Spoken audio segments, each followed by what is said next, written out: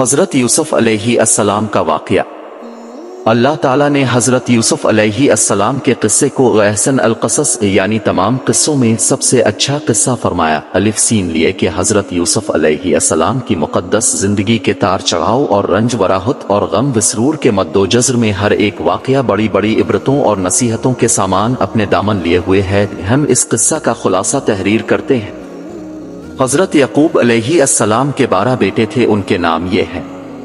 एक एहुदा दो रोबील तीन इशमून चार लावी, पाँच जिबोलवन, छह जर सात दान आठ फत्ता, नौ जाद, दस यसर, ग्यारह यूसुफ, बारह बिन्यामीन इनमें हज़रत बिन्यामीन हज़रत यूसुफ अलैहि अस्सलाम के हकीकी भाई थे, बाकी दूसरी माओ से थे।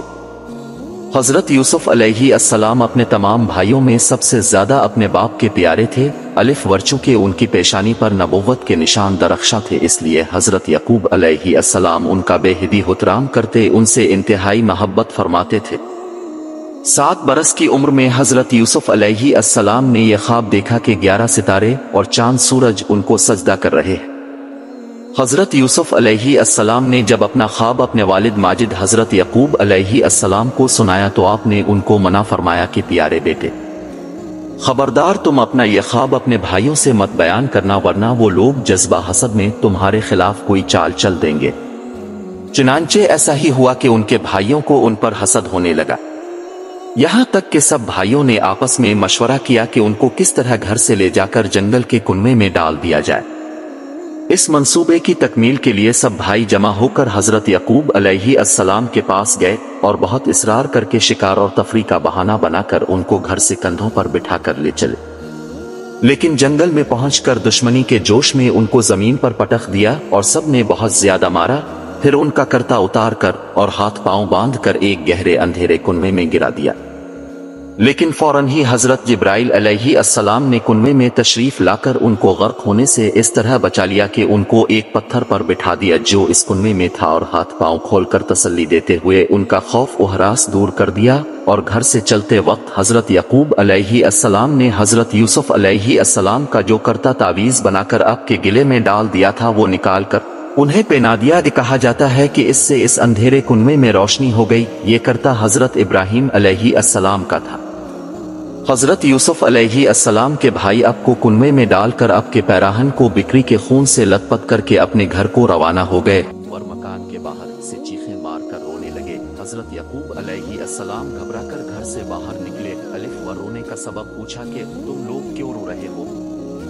या तुम्हारी बकरियों को नुकसान पहुँच चुका है या फिर? हज़रत यकूब अलैहिस्सलाम ने दरियाफ्त किया कि, यूसुफ कहाँ है? मैं इसको नहीं देख रहा हूँ। दो भाइयों ने रोते हुए कहा कि हम खेलते हुए दूर निकल गए और यूसुफ अलैहि अस्सलाम को अपना सामान के पास बिठा दिया। तो एक भेड़िया आया और भाई को खा गया। ये उनका करता है। हज़रत यकूब अलैहि अस्सलाम ने अश्कबार है कर अपने नूर नज़र के करते को जब हाथ में लेकर गुरस से देखा तो क्या, देखते हैं इनके करता तो बिल्कुल सलामत है। करता कहीं से भी फटा हुआ नहीं है। इन लोगों ने करते में खून तो लगाया था, लेकिन फाड़ना भूल गए थे। अब इन लोगों के मकर और झूठ को भाग गए। और फरमाया कि बड़ा होशियार और सियाना भेड़ था कि मेरे यूसुफ को तो फाड़ कर खा गया, मगर उनके करते पर एक जरीसी खराश भी नहीं आई। तो आपने साफ़ साफ़ फरमा दिया कि ये सब तुम लोगों की कारस्तानी और मकरोफरेब है। फिर अपने दिखे दिल और दर्द भरी आवाज़ में फरमाया कि, अब तो मेरे लिए सब्र ही बेहतर है। और जो बातें तुम बना रहे हो, उन पर अल्लाह ही की मदद दरकार है।